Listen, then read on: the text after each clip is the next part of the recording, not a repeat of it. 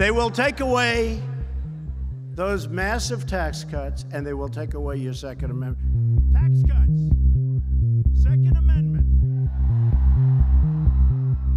I'm going to leave it at the Second Amendment. I don't want to get into that battle. right? By the way, what a nice picture that is. Look at that. I'd love to watch that guy speak. Oh, boy. Let's see. How's...